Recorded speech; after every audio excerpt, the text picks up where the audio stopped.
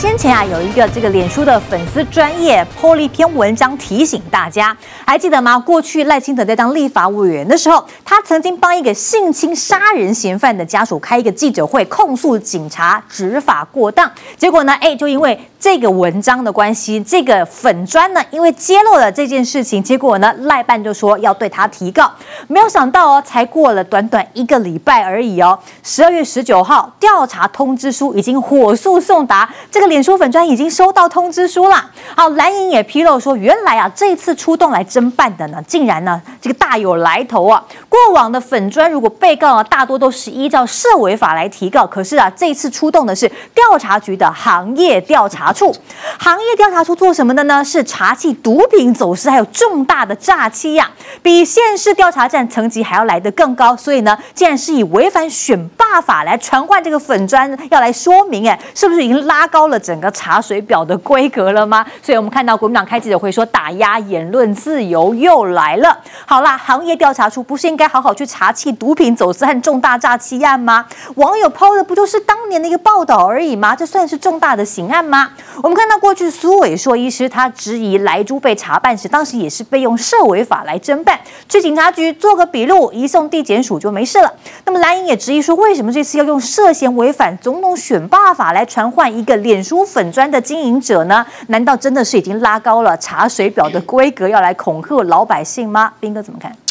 跟大家讲，其实理由很简单啦，因为这几年用社会法办了太多的人，结果超过九成多以上根本就就直接没有下文了，因为你根本没有办法去起诉人家，也没有办法做什么事情嘛，因为人家也不过就是转发个贴文，也没有说什么。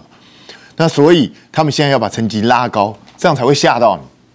这就是他们的目的而已，不然的话，哎，这个行调行业调查处他应该要办哪个案子？你知道？那个案子他该办不去办，就是蔡英文的私烟案呐，这不是走私重大的这种诈欺，而且还是总统的专机耶。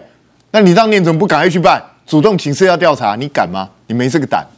那这一次我也老实讲，根本不干他的事，可为什么由他调查？就是大家觉得。这个一般的警察局啊，社会法实在是起不了作用，吓不到人，所以只好让他们出来吓吓人。因为一般民众你要知道，没有被告过的人哦，听到警察就已经很害怕。你看到调查局，我想是什么？我我是怎样要被当匪谍吗？要当什么？不知道，很害怕，所以就是故意吓人用。这个案子不会起诉，也不会有任何问题的，因为这个人不过是把当年的一个新闻报道拿出来而已。而且这几天这个粉砖贴了之后，我们在好几台都一直在讲，他为什么不把我们一起告？对不对？再来说，如果你要告他，你应该连我们一起告啊！我因为我们都在讨论过去的新闻啊，因为他知道告不了我们啊，他知道我们也不会怕，他也知道找这些什么，我管你什么航调处，你就算找国安局来，我也不会怕，所以他只好去吓唬那些他认为大概是比较没有被告的人。你看他们最近做这种动作做的越来越频繁哦。前两天年轻人最喜欢的网络平台 D 卡不是被大局搜索，那。鸡飞狗跳了，为什么要搞这件事情？第一看大部分里头就是一些年轻人在那边讲一些有的没的啊。那人家也不是完全不配合，是你基本上你要来搜索，你要有搜索票，你要相关什么，你要有相关的法令啊。相关法令的话，我我就配合办理嘛。结果你们不是故意找了一堆人说，我们就是现在就要来搜索，然后相关的东西又拿不出来，故意吓人而已。因为他们知道这几年，因为 PTT 本来是以前带风向一个地方。但是 PDD 现在这边呢，慢慢慢慢有老化的趋势，所以年轻人比较集中在低卡，所以他要赶快去影响低卡那边的状况，要低压迫低卡配合，能够把一些不利于执政党、不利于民进党的言论，把它压制掉，把它 delete 掉，这就是他们的目的而已啊，也不是说真的要去抓谁。那我就觉得很奇怪，是我们台湾人比较好欺负，台湾人自己开了低卡，你们就敢这样做？其实不管诈骗也好，散布假消息也好，最多是哪里？你知道？Facebook，你可不敢去查查看？你带警察去搜一下 Facebook 给我看。Google 啊，你怎么不去？Google 在台湾有分公司啊，你怎么不去弄一下？YouTube 啊，去试试看啊，是怎样？外国人开的比较大，你看到看到杨大人腿就软了，都不敢去弄吗？有种你去弄弄看啊！那边到处都是假消息啊，Instagram 里头不是也是一堆吗？你们为什么不去搜？不敢嘛？所以，我我觉得这是摆的很明显，这个其实不是什么刑事案件，也不是什么东西，这叫政治操作。我而且我觉得是很笨的政治操作，所以我又经不起，我要怀疑是不是又是我们姚老师指点。叫他去告，因为这个事情如果他根本不告他，一日新闻结束，谁会记得这件事啊？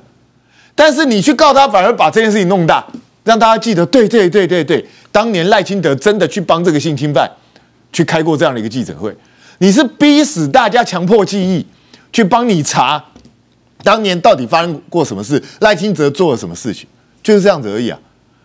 这就是你赖清德做了，你做过了，你现在是怕人家想起来吗？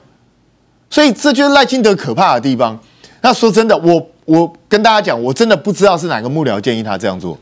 正常的幕僚，就算你老板要这样做，你应该要劝劝阻他，你要向上管理啊。选战的时候做这种问题，是把事情闹大。结果他没有这样选择，也没有人去劝阻他，反而真的让赖办去提告。所以我唯一想象到可能性，因为以民进党打选战这么丰富，我只能认为是不是又有内鬼在故意弄赖清德？赖清德真的要小心啊，赶快把内鬼抓出来吧。我最近试了一个东西，真的很有用啊，所以要分享给大家，那就是太阳星全效克菲尔益生菌。哦，吃了两三天，真的有明显的感觉。最主要就是睡眠的品质变好喽。那你知道这个睡得好呢，整个人工作就可以更加的专注，当然情绪也就变得更好了。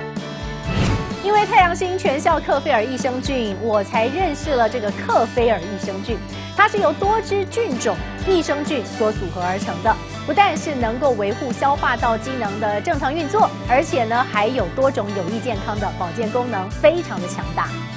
有台大教授专门研究它，把它叫做神仙的礼物。而您知道吗？有上千篇国际研究证实，克菲尔益生菌不仅是帮助肠道健康，肠道菌透过肠脑轴影响全身的器官。所以维持肠道菌种的平衡，这是解锁身体健康、精神健康的钥匙。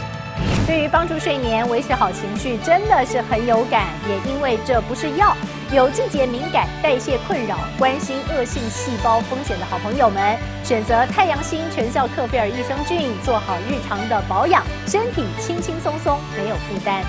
每日克菲尔，时刻美好，Good feel, feel good。请上快点购为健康下单，也记得输入推荐码，有额外的折扣哦。